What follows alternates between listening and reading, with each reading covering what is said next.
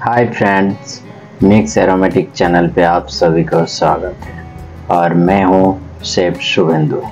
मैं आज बनाने जा रहा हूँ मिक्स वेजिटेबल वो भी बिल्कुल रेस्टोरेंट स्टाइल और रेस्टोरेंट का साथ।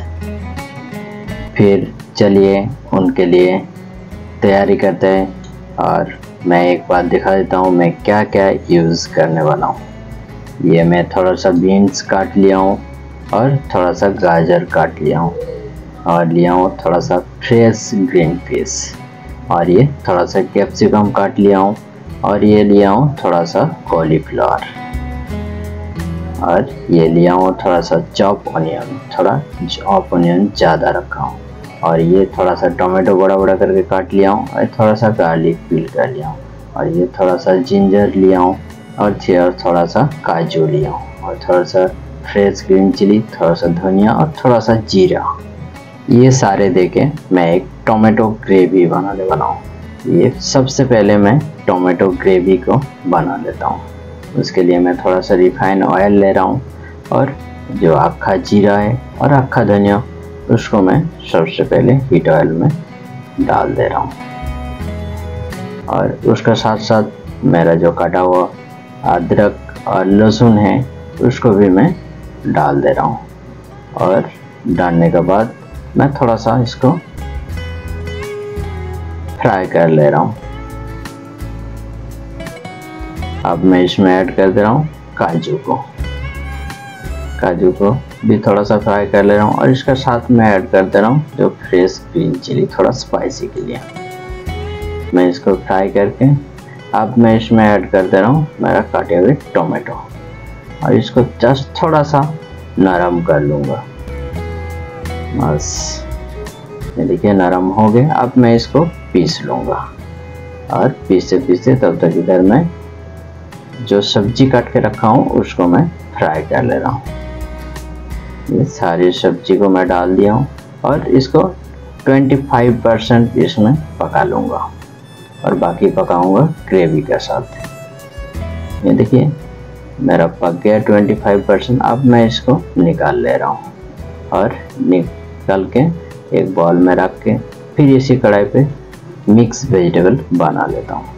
ये मिक्स वेजिटेबल के लिए थोड़ा सा ऑयल ले रहा हूँ मैं और उसके साथ एक ड्राई चिली और एक बे लिप्स डाल दिया और थोड़ा सा आखा जीरा डाल दे रहा हूँ। इसको हल्का सा जस्ट फ्राई कर ले रहा हूँ और अब मैं इसमें चॉप ऑनियन को डाल दे रहा हूँ।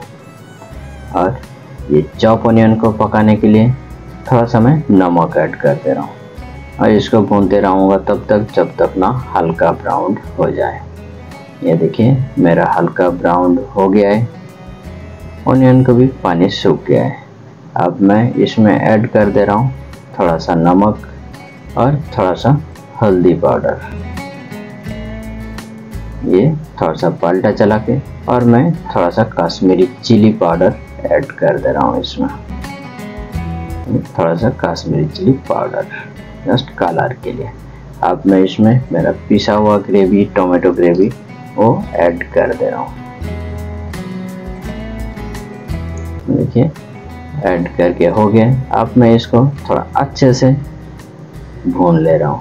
और तब तक भूनूँगा जब तक इसका ऑयल ना बाहर आया ये देखिए, मेरा ग्रेवी में बाहर ऑयल आ गया है। अब मैं इसमें ऐड कर दे रहा हूँ थोड़ा सा पानी। वही मिक्सर जार को धो के वही पानी मैं ऐड कर दे रही हूँ। और ग्रेवी को मैं अच्छे से मिक्सड कर ले रहा हूँ। और ये अब मेरा फ्राई किया हुआ वेजिटेबल को ग्रेवी के साथ ऐड कर दे रहा हूँ। देखिए, मेरा ऐड करके हो गया। अब मैं ये ग्रेवी और वेजिटेबल को अच्छे से मिक्सड कर ले रहा हूँ। देखिए मिक्सड करके हो गया है। अब मैं इसमें और थोड़ा पानी ऐड कर दे रहा हूँ, थोड़ा ग्रेवी के लिए। और अगर ड्राई रखना चाहते हो तो पानी ना डालने से भी चलेगा। अब मैं कवर लगा दे रहा हूँ और पाँच से सात मिनट ऐसे ही पकाऊँगा। ये पाँच से सात मिनट हो गया। अब मैं कवर हटा दे रहा हूँ। और हटा के थोड़ा पलटा चला के अब मैं इसमें ऐड कर दे रहा हूँ थोड़ा सा बटर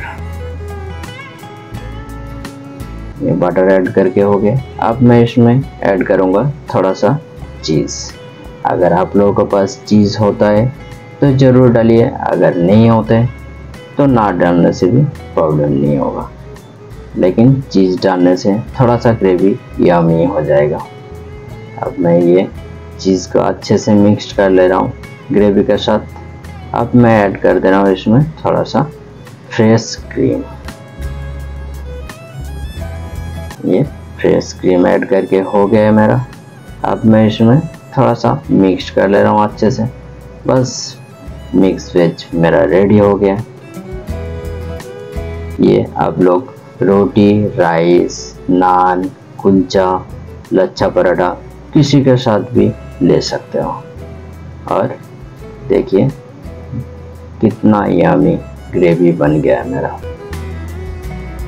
बिल्कुल यामी है। फिर फ्रेंड्स आप लोगों को अगर ये रेसिपी पसंद आए तो घर पे ट्राई ज़रूर कीजिए। और ट्राई करने के बाद आप लोगों को कैसे बना वो मुझे कमेंट करके ज़रूर बताइए। फिर मिलेंगे फिर एक नया रेसिपी के साथ। तब तक के लिए बाय बाय खुश रहिए, सुस्त रहिए।